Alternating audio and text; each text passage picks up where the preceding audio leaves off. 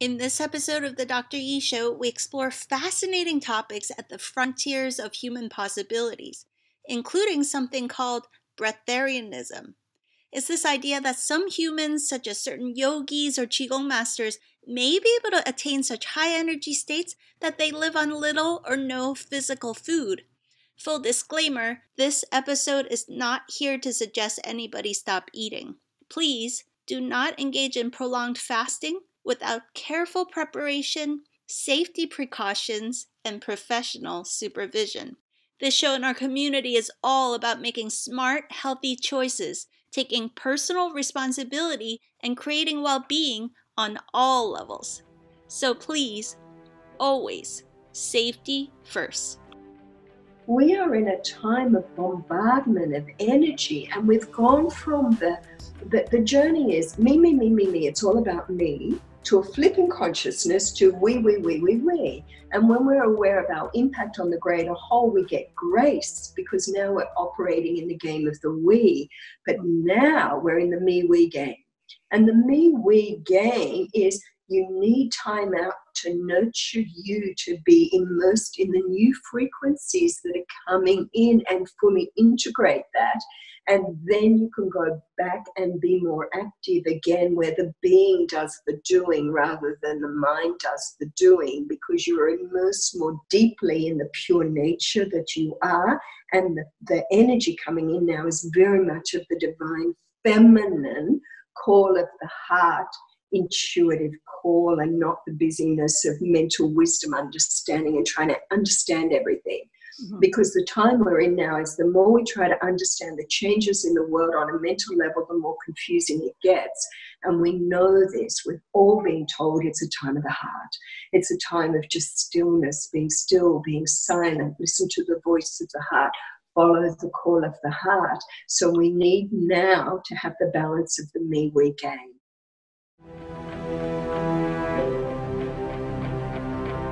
Hello. This is Dr. Edith Ubuntu Chan.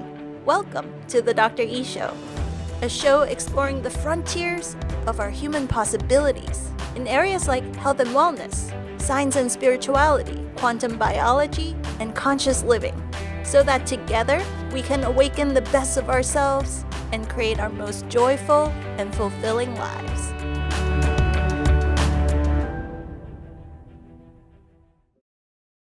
Welcome to part two of our fascinating conversation with Jasmuheen. If you haven't already, we recommend listening to part one first so that you can get the most out of this powerful conversation.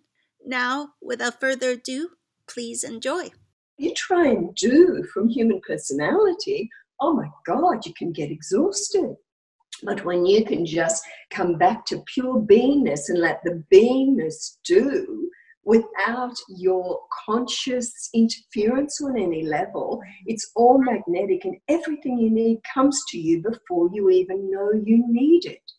Franz Kafka said, You can get to a state of being where the universe literally rolls in ecstasy at your feet. And when I heard that, I went, Oh, yeah, that's what I want. I would love to be in that state. But my mind, my scientific mind said, but how? Why? And then the answer was because what you are vibrating is so beneficial to creation that creation loves you so totally, that creation serves you so completely that nothing is an effort at all. Now that's a good way to be on earth. But it comes back to surrender. It comes back to knowing the magnificence of the human design and what we are built to achieve. What is dark matter? What is that 99.9% space? in each atom. Well, it's not space, it's pure consciousness. It's the very baseline of creation, it's unexpressed potential. What is the unified field? It's unexpressed potential, just waiting our focus upon it so it can spring to life. But if we don't believe something's possible, then the door shuts. Mm-hmm. You know, if we say, oh no, a human being has to be fed by physical food, then great, live in that realm. That's fine if we can say, well, maybe now that we've heard there's about 80,000 people or more on planet Earth who are living this truth and have this freedom, maybe it's part of me. Well, of course it is, because all the ancient wisdoms say there is this energy that's everywhere, all knowing, all loving in everything and in us. So if it is there, all we need to say is, how can we make it stronger? What happens when it dominates? What happens when that part of us dominates rather than the human personality construct?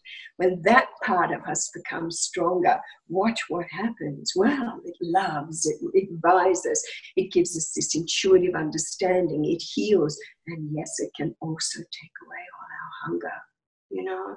And I love exploring that.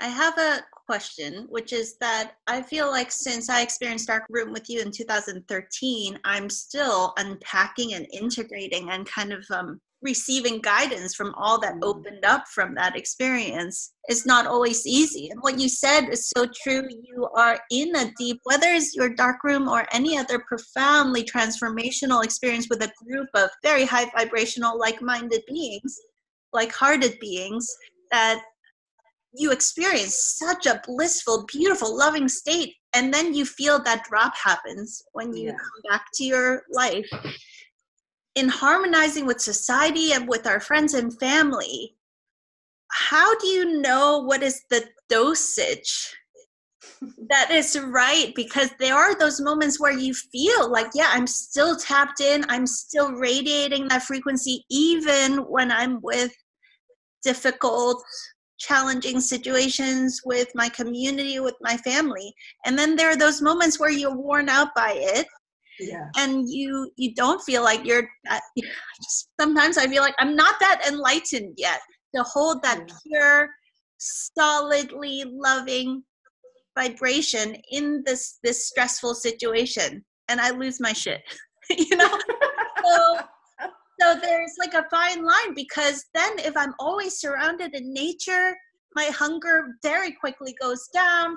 When i meditate lots my hunger goes away. Like you know all this it it it's like a ebb and flow in reality that i experience. There's always this push and pull of wanting to escape into nature and meditate all the time because i feel so comfortable there and then also wanting to be like you inspired by you you are so active in the world you're so consistently bringing forth beautiful change in the world and traveling to polluted cities, crowded places, seeing hunger, slums, war, the not so pretty aspects of humanity on planet Earth these days.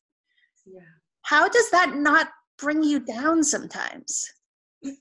You know, one, I learned very on in the being nourished by prana that I couldn't play the absorption game. If I walk through this world and I'm an open channel, I can feel this sorrow, I can feel this sadness. Like I'm dealing with a young girl at the moment, and she's on a very refined diet, and she's a sensitive, she's an empath, but she's not really spent a lot of time meditating or honing into those gifts she has.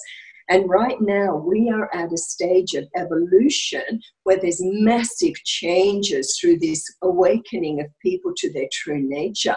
And we're drawing energy because of our prayers to understand more about unity consciousness and, and live as one people in harmony on one planet. We've been in this prayer state for a long time, different generations. The baby boomers, we did it all in the 60s and the 70s.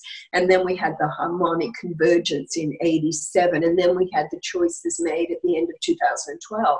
And so we all came into this come on, surely there's a more enlightened way to be together on planet Earth. And these prayers went out. And so we're getting these pulsations back from the galactic core and from the universal core and from the unified realms, as well as the energy coming up from Gaia herself as she's transcending and ascending and she's transmitting harmony and she's transmitting compassion because she's like, I'm on a journey. You want to go with me? Wake up to the truth of who you really are. Tread lightly upon me and treat me with love. You know, reduce your carbon footprint, for example. So we are being slammed by these energies and from the highly active sacred vortices in the world that are transmissioning from Tibet and and um, the Amazons and the cultures there and Egypt and all around the world and Mount Shasta and Santa Fe and Sedona and many incredible places are really vibrating at high frequencies and the millions of people waking up and really harmonizing with that and in coming into unity with pure nature. So everyone's in these ah states where this transmission is drawing up old patterns within us that sometimes make us feel like, whoa, or we feel waves of sadness, like this young woman. She can just feel so much. And she was saying, What is wrong with me? And that's the first thing to delete. Delete it. There's nothing wrong with you. You're just a sensitive. Now you've got to learn how to deal with energies well. So stop the game of absorption and start the game of radiation. So for me, I had to go into this attitude here of I am plugged in to a never ending source of love and wisdom and power that is part of my body of light. It is my pure nature and it radiates through me everything I need all the time. It feeds me from the inside out. And as it radiates through me, it nourishes everything around me that's open to be nourished by this vibration. I radiate, I radiate, I radiate. And when that radiation dominates, you can be anywhere in any situation because you're also seeing every external situation with a higher perception and you can deal with it with love and compassion. And sometimes the only thing to do in a negative situation where someone's really suffering is to just zip it, be it, and give them a hug. That's it. Because there's nothing you can say is going to reach them or change their, their um, situation, you can share methodology, you can share the things we share at the Embassy of Peace that do enhance people's lives. But sometimes it's just a hug. And I know as I've been working like deep in China at the moment, I can be there in a big crowd and women will just come up and throw their arms around me and hug me and hug me and hug me. And I just feel as if the divine feminine is fully in my system and hugging and hugging and hugging and hugging them. And they cry and they cry and they cry and they cry and they release and they release and they release. And I just hold them and hug them as if Mother Mary is in me hugging them. And that's so beautiful for me. And when they finish crying, they're done. And they're like, oh, I feel better now. And they go away. it's like, that's beautiful. And we can all hug. We can all just step back into this pure goddess we are, these priestesses we are. And we can just ask that part of ourselves that is so loving and so non judgmental and so able to love unconditionally to just be there and just we surrender to it and we just hold and hug. And these people crying, crying, crying, release, and they're done with that. And it's dissolved because that's the power of pure love. You know, yeah, it's simple, but it works, you know. And when this love just radiates through and you feel that this pure essence love that is in us all, when it is radiating strong and it's moving in the bodies of the person you're holding, and where it's working with the law of love. And the law of love says there is this energy that has the power when it's released to transmute everything back into its original pure state. And you feel that's what's happening. And they're getting this blast of chi, this bigu transmission, this pranic transmission, and you're just hugging and they're being healed. We can all do that. We can all do that. But how strong is the transmission? Well, it depends on how deeply you are merged with your own pure nature if you're not merged very deeply with it, if your dominant reality, if your dominant energy is your personality self, well, you need physical food or you'll die. You're not going to have that level of transmissioning power to hug and heal. You're a healer, and many healers know this. What do you do? You just step out of the way and you just invite this universal energy of the purest love to flow through you And the person that you're working with will drink of that love and drink of that love and drink of their love, and their body will take whatever it is they need until they're done and they've had enough for that session. Mm. And you, if you're just in the flow and surrendered, you get energized. You don't get tired.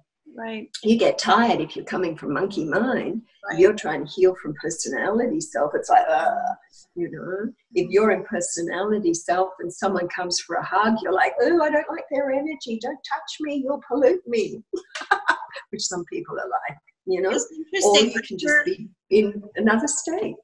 Sorry. As you're speaking, I'm feeling the the feminine aspect of myself. Just feel that ah opening mm. in my mm. heart. I feel the awe. and then there's the logical, analytical mind of me is saying, you know what, this is highly efficient and productive.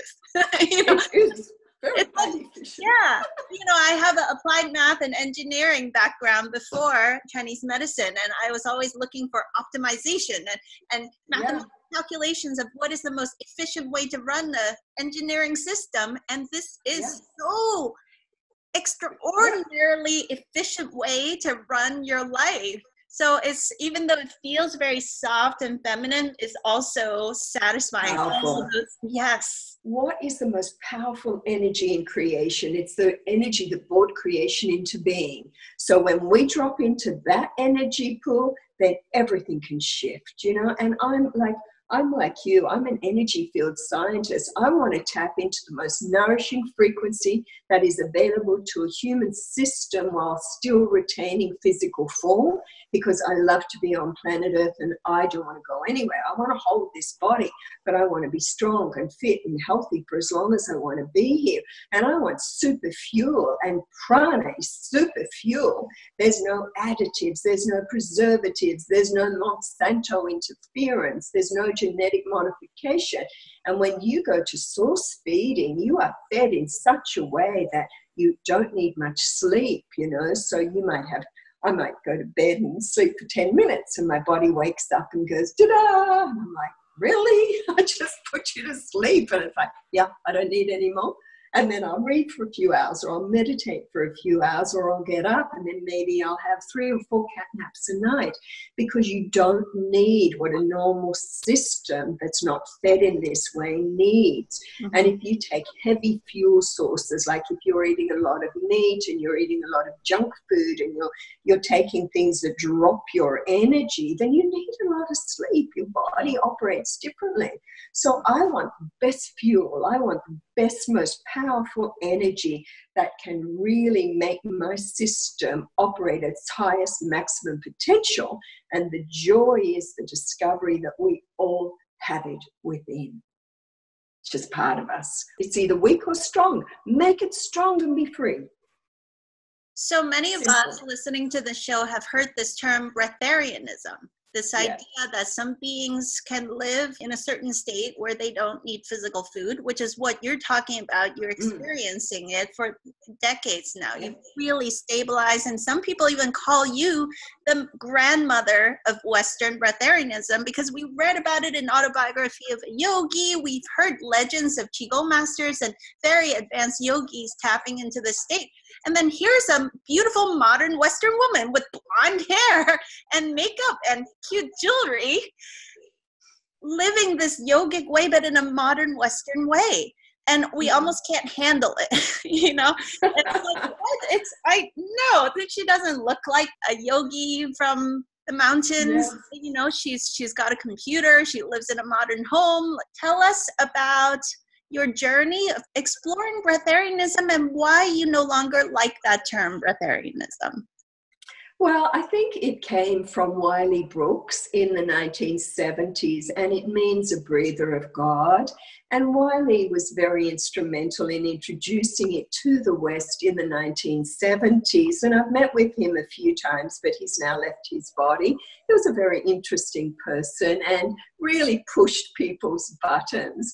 And I guess I was the second wave that came into the West to push people's buttons.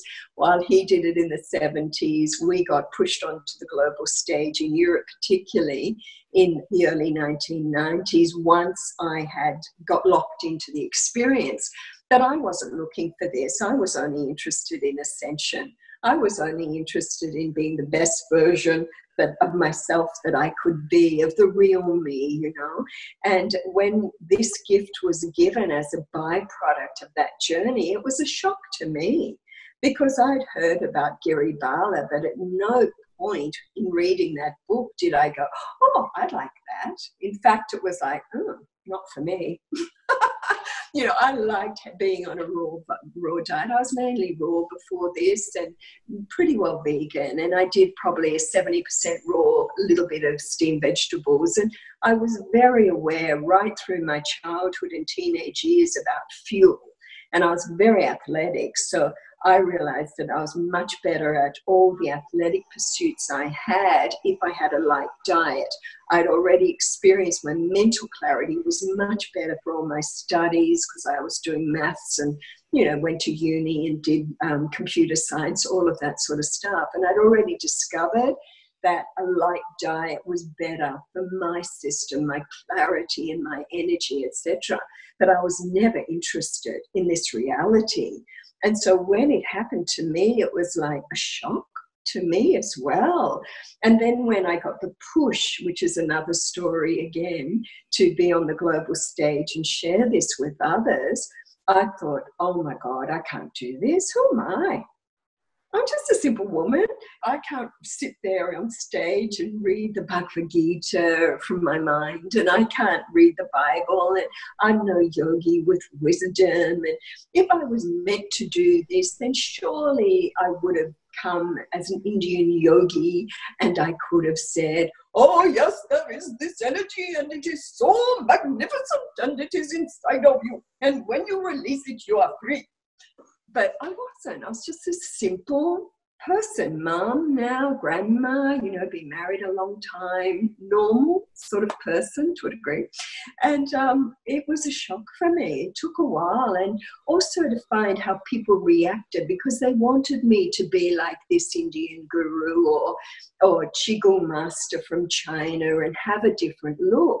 But I know that also creates separation. Mm-hmm. And why this was chosen, this vehicle and this format was just to say, look, if I can do it, anyone can do it. I'm just a simple person. All it is is changing channel. All it is is living life differently. All it is is vibration and keynote and matching frequency and lifestyle. Because how we spend our time determines our vibration, which determines how quantum intelligence responds to us how the unified field responds to us, and which zone of reality we are anchored into. So there is a scientific formula, and it's about keynote and matching frequency and vibration. Mm-hmm. But then I didn't understand. I had no idea. I just had gone through the spiritual initiation, and this was the byproduct, and I was still trying to understand it. Because you can't say to the scientific community, oh yes, it's just about love. It's all about love. Go back to baseline. It's all about love. It is. but that, that doesn't wash with a, a good, meaty exploration. But you can say it's all about frequency and it's all about mind mastery and it's all about how you're feeding yourself mentally. Because we can feed ourselves mentally with so many limited paradigms that perpetuate so much separation or we can feed ourselves with the mind of supreme intelligence so that we're in marriage on a mental level with the mind of supreme intelligence so that we get the best mental nourishment you could ever imagine and be free. And the, the best emotional nourishment you could ever imagine is in the zone of virtue. Or what happens when you are fed by the zone of virtue emotionally? Then you're free emotionally because you look at the problems people have with transitioning permanently into being nourished by prana, emotionally it's hard for them. Yes. Because yes. people get so much pleasure from physical food and so much pleasure from sharing physical food. Yes. So we are, to answer your question in a long way, we are in a time of bombardment of energy, and we've gone from the the, the journey is me, me, me, me, me. It's all about me to a flipping consciousness to we, we, we, we, we. And when we're aware of our impact on the greater whole, we get grace because now we're operating in the game of the we. But now we're in the me, we game. And the me, we game is you need time out to nurture you to be immersed in the new frequencies that are coming in and fully integrate that. And then you can go back and be more active again, where the being does the doing rather than the mind does the doing, because you're immersed more deeply in the pure nature that you are. And the, the energy coming in now is very much of the divine feminine call of the heart intuitive call and not the busyness of mental wisdom understanding and trying to understand everything. Mm-hmm. Because the time we're in now is the more we try to understand the changes in the world on a mental level, the more confusing it gets. And we know this. We've all been told it's a time of the heart. It's a time of just stillness, being still, being silent, listen to the voice of the heart, follow the call of the heart. So we need now to have the balance of the me we game. So to answer you, when you feel that you need self nurturing time, you take it. And I find so many women around the world are coming into, I need time in silence, stillness, and self care. And when I can self care, self nurture, give myself time in solitude, in silence, and stillness, I'm recharging my batteries from a new paradigm and a new pattern of energy so I can operate more effectively in the game of the we. Long answer. Sorry about that. Well, it's like your question was there and we went way over here. Wow, beautiful. You know, being a mom now, that's always a, I think, any parents or grandparents yeah. or healers who are serving their community who use their energies in that way you you have the best intention to share your love but that being in the flow tapping into mm-hmm. that flow and also recognizing that we are a vessel for that new frequency to come onto the yes. planet. Yes. Right? So that's part of what we had agreed to do by putting on yes. these physical bodies is to that is also a huge service that we mm. had agreed upon you know? And so also lazy you know I, I need downtime to chill out and actually that downtime a lot happens during that downtime it does you recharge in a different way and you know like people often talk to me about bilocation the ability to be in two places at once which we experience a lot more of in darkroom consciously so we expand awareness and we're not trapped in the darkroom cave. But we do that every night when we lay the body down to sleep. Every night when we go to sleep, the spirit just goes into that expanded state as the body rests, and we get regenerated and recharged and reformatted. And that's what silent stillness does. Like the amount of time people are now being called to walk a beach, go and sit on a mountaintop, go and sit in Mother Nature because you've got the electromagnetic frequency of the grounding reality that mm-hmm. comes when you're in high chi fields or negative ion fields of Mother Nature. And that's a quick reformat. So a lot of people find just a 10 minute walk on the beach and it's like, woohoo, I'm recharged, I'm ready to go. But remember, we are in this new time now, and we've never been here before. In my reality, with the beings I work with, we have entered into the sixth and final golden age on earth, and we are moving deeper into unity consciousness in a way we've never done before. And we are going into a global ascension program, a planetary ascension program, a personal ascension program, a global ascension program and a universal ascension program. And because the fields have not, because we haven't done it before, there's no construct, there's no mental pattern in, or formula. It's a step by step weaving collectively as we go by just following the call of the heart. And the call of the heart is how pure nature is communicating with us right now because the, men, the mental body just all it wants to do is analyze and we get confused. We look at stuff and we go, What the? What just happened? What a million people took to the streets to protest this and that then changed and this is changing because people are really being asked to choose how do you want to live in this world? Do you want to live in a society that's operating for the good of all? Politically, educationally, economically, on health systems, on all level. What do you want now? This is your planet. And people are going, I am ready to live in a way where my presence brings out the best in everyone and everyone else's presence brings out the best in me. I want to know the secret to good family harmonics. Mm-hmm. How can I bring out the best in my children? How can I operate in my family with my husband so that he and I bring out the best in each other? How can we live in harmony in our own home? And then how can that happen in the community? And how can it happen in the world? This is how I want to live now. I don't want to live in judgmental, separatist realities anymore of, of the right and the wrong, and this person's better and that one's not, and all that stuff we've lived in because we've experienced enough of that. It's okay. It's just like, yeah, I'm done. I'm done don't want to play that game anymore. Come on, I want to play a different game because your inner beingness is saying you can. There is more. There is a way that we can be together as an evolving species that is so enlightening and so awe inspiring and filled with wonder, where we're just like, yay, all the holy ones were right heaven is on earth, Buddha's pure land is here. We can live in harmony, we can live in peace, and we're all just finding the right formula for that. And the formula now is a little bit of me time, a little bit of we time, and follow the call of your heart.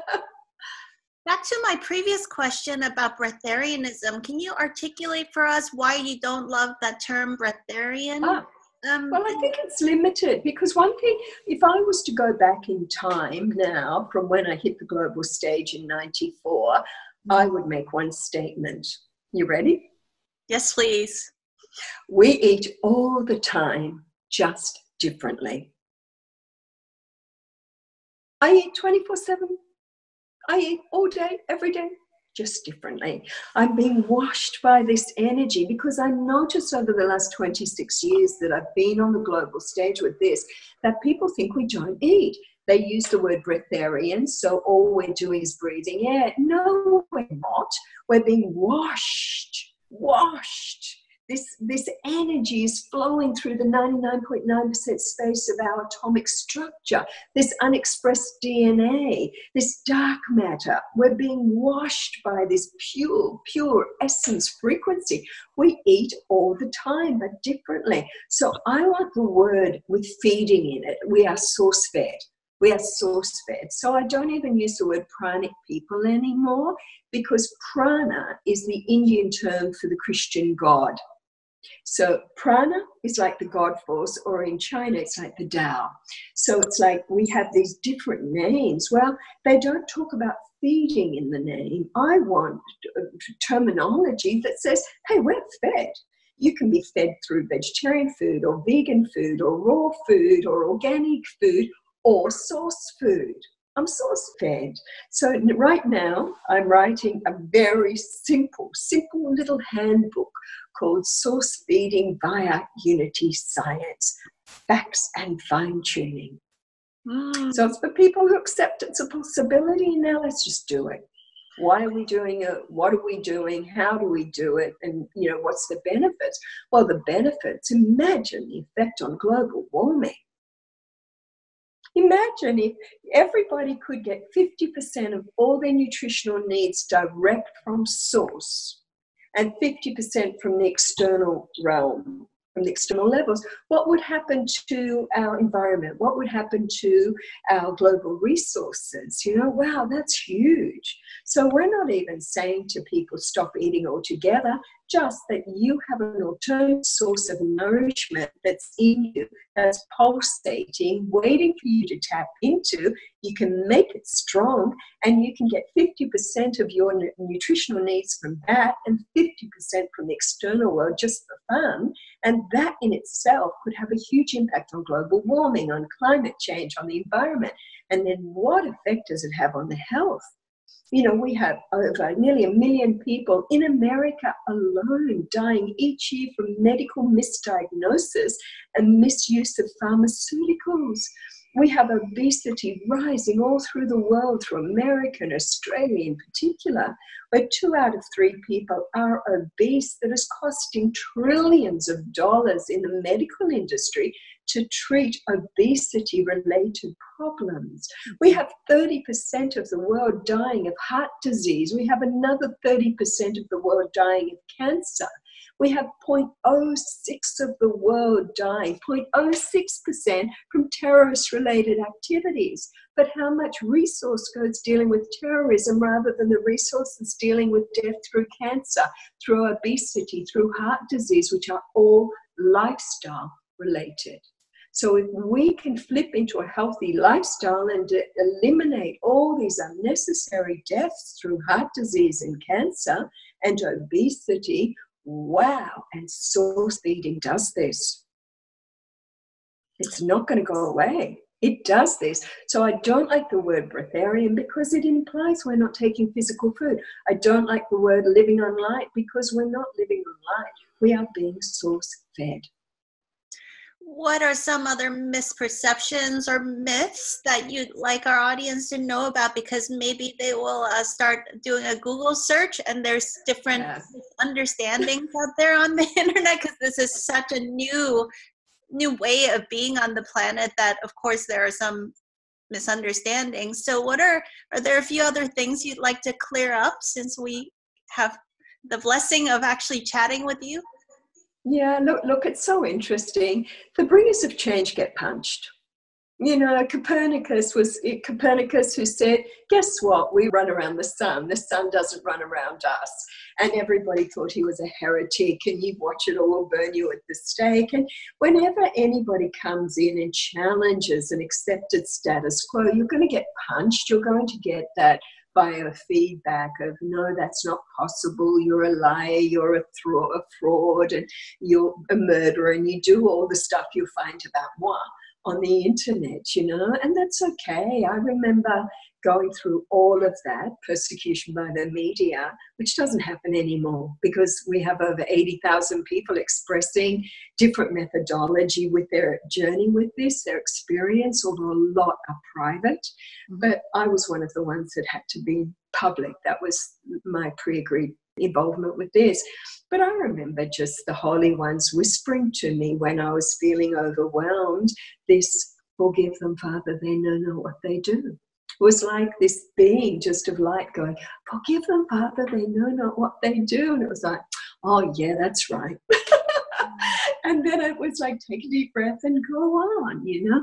And that's okay, that's normal everybody reacts when you tell them information that's just not part of their mental reality. And it's like, no, that's not true in my educational model, blah, blah, blah.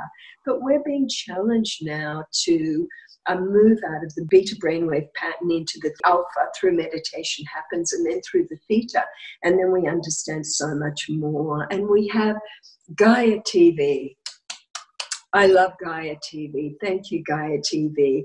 We have a beautiful phys- physicist called Theresa Bullard, and she's just done a great um, series on Gaia TV talking about um, physics and the Kabbalah and how the Kabbalah connects in with physics and the ancient mystery schools and all the knowledge of the ancient mystery schools is now being understood by science. Then we have Randy with the quantum effect, Randy Weimanheimer, I'm not sure of his last name. Then you have so many beautiful people on Gaia TV who are providing great education. You have our people talking about the power of intermittent fasting and how good it is on your body. You have Peter Straubinger who did the In the Beginning There Was Light movie that used this reality of being nourished by prana as an example of mind over matter and mind mastery. You and have yourself. we have a beautiful interview with Peter from a few months ago that I'd love for you guys to also enjoy. Oh, lovely, lovely. And see, that's what I love because this is part of a divine matrix plan where we wake up and remember the divinity we are and that we are beautiful multi-dimensional beings, then all these people have descended now to offer fields of specialty that I don't have to do. I just have to focus on my field and then I can connect others to their fields to give the completeness of the picture. So, yes, in the beginning, of course, it can be difficult, but now it's not because people are having more and more profound experiences. Like nearly, not nearly everyone, but I would say 70% of people who come to our gatherings have met with Jesus on the inner plane, yeah. or have met with Mother Mary, or Ma- Mary Magdalene, or Isis, or Hathor, or Lakshmi, or, or um, Kuan Yin is huge, Saint Germain, and all these beautiful ascended master matrices and beings of beautiful light who don't have physical bodies anymore, but they're part of the matrix of creation. And they're blending and weaving and connecting with the pure hearted ones to solidify and confirm our own intuitive knowledge and knowing and helping us to channel through these amazing books you know, you said, How could I write 42 books? It's like, Well, I don't write them. As soon as I start thinking, I stop writing.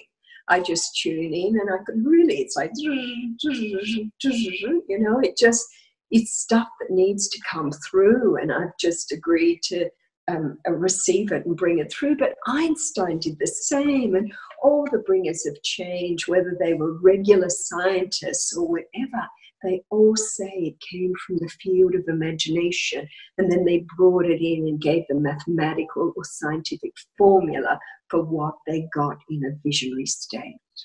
So I see a world of unity and harmony and people living in peace and operating at their highest potential and living in a realm of great creativity and incredible music and sharing and joy and art and bliss and it's an amazing world and it's not boring and i can see it in fact it, it, the people in this world and more and more stepping into it are just in a state of awe because every realm where you come deeper into unity, every zone where you experience more of unity, you realize the more that you know, the more you realize you know nothing at all because there's so much to be known. But you're just constantly in this state of awe and and, and gratitude. So, our audience members, if they're still in this rich and beautiful conversation are blown away by so much wisdom that you've been sharing. One really important question I have for you is that as our humanity, our consciousness on the planet shifts, a lot of people are receiving powerful, beautiful information, and then they have these surprising gifts of let's say non necessity of the food or different spontaneous healings and mm-hmm. so on. And i love that the media tried to put you into this like guru mm-hmm. persona and you didn't buy into it. What resonates so much is that you awaken the master within everybody and yeah. that is like there's like a profound respect that you have for your quote unquote students that you don't call yeah. students in your retreats and workshops i feel like i just ignite into the best of myself and i don't feel even though you are obviously a key element of that in a retreat setting i never feel like you want the credit for that that you want to be seen as some kind of a guru that is like a, a teacher student relationship? That is so unusual. And on the other hand we're seeing breaking out in the news all the time yoga teachers meditation teachers and people that are kind of abusing their power abusing mm. vulnerability and trust that their students give them can you give us some words of wisdom about those of us who are seekers who know there's so much more to explore in life? We feel it in our heart and soul. Like, how do we navigate those dynamics of um, surrendering to a teacher's path and not giving away our power? You know, there's a, just a lot of that happening in the news right now. And I'd love if you can share your, your advice about that. Thank you. One of the things that we invite people is no matter what you're drawn to, come in your power. Don't walk in as if this person is greater than me or this person is more aware. They may be more aware in a certain field of study. See, the word guru just means teacher. So when you go to university, you didn't give your power of your whole life away to the maths teacher or the physics teacher or whatever you studied at uni. You just went and gobbled up their expertise in mathematics because they'd been doing it longer than you. They had more training, they understood. But you didn't walk in in this state of, oh, my maths teacher will take over my whole life and, you know, I will, you know, give all my devotion to my maths teacher. It's just a teacher. And that's the same with the word guru, meaning just a teacher. There are people who have expertise in fields that we can benefit from. I've had lifetimes in training in being nourished by chi and prana, and I did that. I had a life in this already in India. So if I've had lifetimes in training and I've written seven books just on this subject alone, then you can gobble up that research quite quickly without living lifetimes and writing seven books. and that's the whole idea of sharing research willingly. So I always say to people, come in your mastery, come in your power, because you are gifted as well. Every single one of us has descended to share a particular field of expertise or a particular gift, and there are none greater and none lesser some are a little more awake to the, the, the greatness that we all carry within, and some are not quite there in the experience of it yet, but are beginning to understand there's more to themselves than what they've been led to believe with normal education. Mm-hmm. So it's very important that we do use discernment and just come in a state of open receptivity and trust your gut instinct because everybody now is running by the languages of light. And I meet people who say to me all the time, Yeah, I went and saw that person, but mm, yeah, something didn't feel right. Mm-hmm. I don't know what it is, and I don't want to think about it, but yeah, not for me. And that is your inner gut instinct saying that person may not be quite gelling with your pattern of energy, and you don't have to go into why. Oh, they're in their ego, or they're not living their truth, or fame has gone to their brain, or you know, you don't even have to analyze. Just trust your gut instinct. And if something doesn't feel right, don't participate if it does feel right, then step in, but step in with discernment and just take what is flowing that feels right for you. Because I know people who have great things to say, but are they fully integrated and living what they're talking about on stage in their day to day life? Well, maybe not. See, it's important to understand, as the Holy One said to me, that there's four initiations we all go through in our spiritual journey. The first one may be the right use of sexual energy. As you get more and more charismatic, and people go, Oh, you're so beautiful and powerful, I just want, you know, and you see a lot of men in the world, they get caught up in the initiation of high charisma, and they may be not using sexual energy as wisely as possible, and then there's the fallout of that. So the first one is the right use of sexual energy. The next one is the right use of fame, the right use of money, and the right use of power. And when you look around the world, you can easily go, oh, okay, that one's going through the fame game, that one's going through the money game, that one's going through the power game, that one's going through the sex game as just games and initiations. But that's their business. What are you doing? Are you using sexual energy as wisely as you can? Are you using money energy as wisely as you can and for the greater good of all? Are you using fame energy as wisely as you can for the greater good of all, or whatever? So, all we can do is be answerable to ourselves and make the commitment to live in the highest level of integrity in every moment that we can. Like a prayer, teach me how to be the divine diplomat. Teach me how to fully embodiment, embody the highest teachings and the greatest wisdom and the greatest love that I can embody so that everything about my presence through all realms nourishes all realms and brings out the best in all. How can you play a guru game there? Because the guru game and the I am greater and you are lesser, and I am the teacher and you are the student is a game of judgment and duality. And you can't transcend out of duality until you are in the consciousness to see the beauty of every individual and that everyone is unique and everyone carries their gifts. And we are here to come together as family and friends. Oh, wow. I prefer.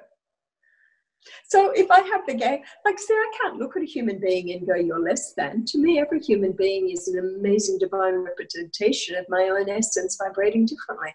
So how could I judge that? How could I say, "Oh, but the way my essence is vibrating in my body is better than the way essence is vibrating in yours"? Mm. it's like, really, really? That is so funny. So all the games of the guru games and the teacher games and the student games, and I'm smarter and I'm better and America's better or Europe's better or China's greater or blah blah blah.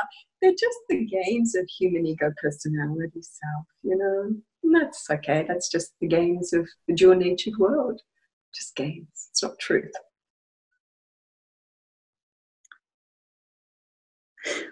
Wow, you have blown our hearts and minds wide open in this conversation, and so many beautiful things you share that I think will just powerfully transform how we look at life after listening to this conversation. How can we get more of Jasmuheen's wisdom and teachings? Your website and events that are coming up?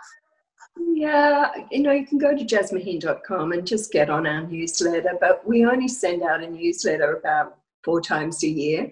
I know a lot of people send out mailings every week or fortnight or whatever, but we don't. Um, we do it sporadically, but you can stay in contact there. We have our YouTube channel. You can subscribe there, and we place a lot of our videos there. And we have the Facebook, of course, we're restricted with friends, how many friends we can have, but we have a few Facebook pages.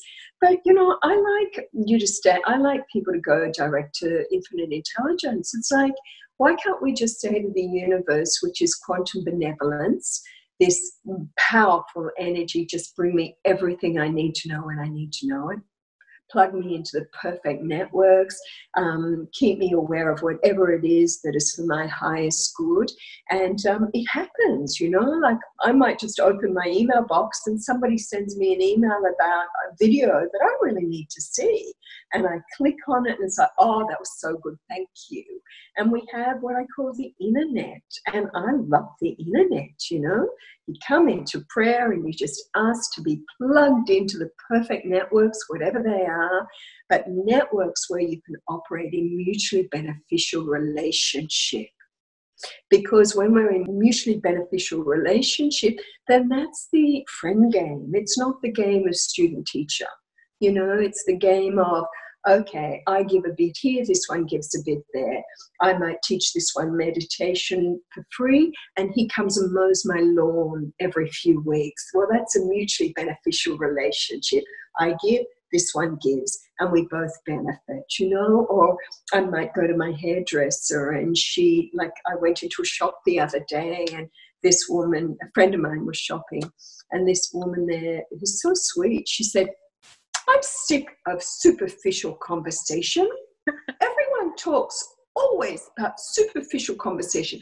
I want real conversation. And in fact, I think I need to learn to meditate. And every time I see you, you look really peaceful. Do you meditate? actually, yes. And so while my friend was trying on clothes, I was and doing some great shopping. Myself and this beautiful woman in the shop, I just gave her some good techniques for meditation. And then when I went back the other day, she said, God, that's good. It really works. I feel great. And I've started to meet some really interesting people where I can have great conversation. Well, that was a mutually beneficial arrangement. I could have great stimulating conversation with a woman in a shop while my friend tried on clothes. My friend got good clothes and this woman learned to meditate. How's that for triple win? You know, I like it. So we I think people underestimate quantum benevolence. This is my greatest love affair in my life right now is the benevolence that is woven through the quantum field. It is so wise and it is so loving and it is part of us and it's everywhere and it's listening to us. So have these conversations direct and you'll just find you'll be bought whatever you need before you even think you need it. That's the internet. To tie up this beautiful conversation. I don't really want it to end, but in the apparent world of time and space is my little boy's bedtime. um, oh, what a delicious, nourishing conversation this has been. And you've had one of the most extraordinary lives I've ever heard or read about or crossed paths with after all these decades and also your conscious memory of so many powerful lifetimes. Mm. You know, our show is about the frontiers of human possibilities, and you are absolutely such a powerful and beautiful and loving example of that new possibility that we all know and feel resonant with in our heart and soul. But if you were to just distill it down to one essence, one thing, one piece of advice, what is the single most important piece of advice you have for our audience for us to tap into our highest level of human possibilities in this lifetime? Mm, it's hard, isn't it? Because I know that nothing happens in people's lives until they're ready. You know, it's like the blossoming of a flower. You can fertilize the, the ground and then you get the little seed and you put it in, and then you've got to very lovingly water it. But you can't stand there and say, Grow, show me your flower, grow. It doesn't work like that. You've got to silently, lovingly attend to that. And we have this most amazing seed of magnificence in all of us that for some people is already blossoming. And some people, it's just, oh, they're nearly at full potential and they just need a little bit more love. And I think the greatest, and this is, is what the Holy Ones always share with me, and I feel too, the greatest fertilization we have is our ability to love and to just love ourselves, to take time every day and just to say to the whole biosystem, I love you, I love you, I love you, I love you, and I thank you, and I thank you, and I thank you. You are a magnificent temple in which I, as a divine essence being, dwell. And I love you, and I love you, and I thank you, and I thank you. And I send out this prayer of thanks to this infinite intelligence. I love you, I love you, I love you. I am so blessed to be on planet Earth. And I send out this prayer and this feeling of pure love to all sentient life on this world and beyond. I love you, I love you, I love you, I love you. And may this pure, pure love that comes from my essence beingness, may fertilize you all in the right way, in the right time when you're ready. And when you're sensitive and you do that, you start to feel waves of love, biofeedback of pure love from all realms coming back to you. And now we're in mutually beneficial relationship with life.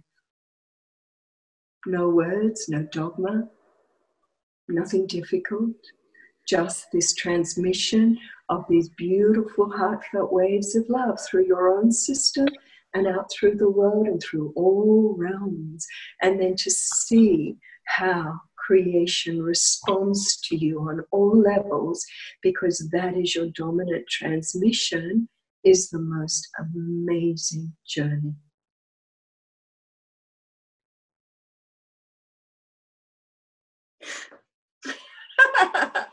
and we have this in a meditation on iTunes, the I Love You meditation, if you want. But you can also just do what we just shared. Mm-hmm. It's fun.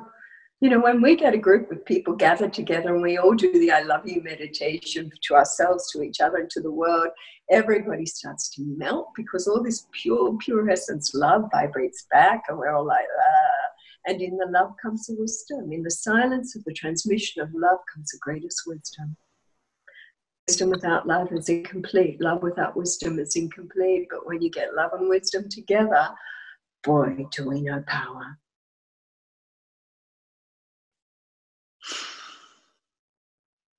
Well, I had asked the question, how can we follow your work? How can we get more of Jasmuheen's wisdom, this this loving essence that we're experiencing today? But what you showed us is the pathway back to our own inner wisdom, our yeah. own yeah. direct connection to that source of love. And there's just um, no words to describe how beautiful, how powerful, and how generous of a gift that is to all of us listening today because remember the wisdom that comes to me comes because of my uniqueness.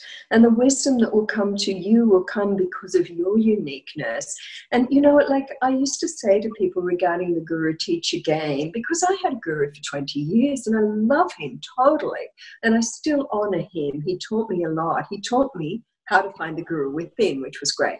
But I used to say, look, maybe I was born to be a yellow rose and my guru was born to be a yellow flower too. Well, we're going to hook up for a while.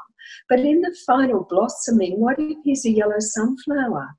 How can a yellow sunflower tell a yellow rose how to blossom? It can't.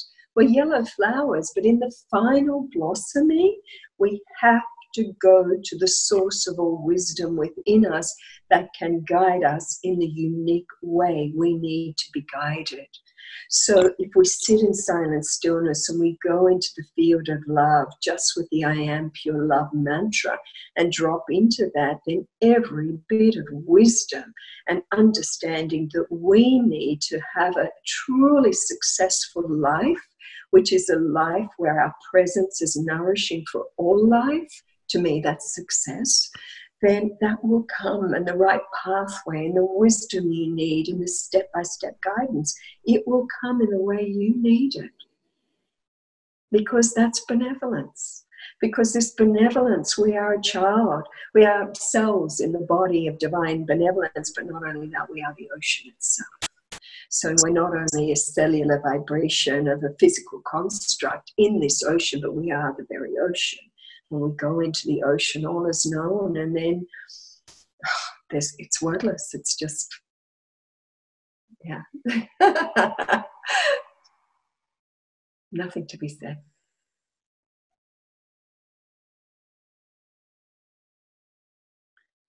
Thank you so, so much for this amazing conversation that I can't wait to go back through and edit and re listen and really absorb and and feel into all the nooks and crannies of what was shared here because this the transmission of love that you shared with us is just beyond description. You know I, I know that every listener if you're still with us in this conversation i know that this is a profoundly life-changing conversation we just had and i'm so excited to see what kind of ripple effects it has in our own hearts, in our own lives, but also in our families, our communities, and in the larger work that we do in the world. You've really watered those seeds within us of goodness and, and love and help us tap back into that soul memory that sometimes the world makes us forget. And it's so delicious to hear these words to help us remember again. Thank you. Thank you so, Thank you, so much, Jasmuheen and it's been it's fun for me and maybe we can come back and share some more at another time if your listeners want that. Okay. Thank you. Thank you. Bye. Bye hi friends did you love that interview if you did please leave a review and share with all your friends so that many more people can benefit from these game-changing insights you can also go onto our website, dredithubuntu.com, and subscribe to our newsletter, where you'll receive free trainings and next level ninja tools that we only share on our newsletter. Together, let's turn your life into a brilliant masterpiece.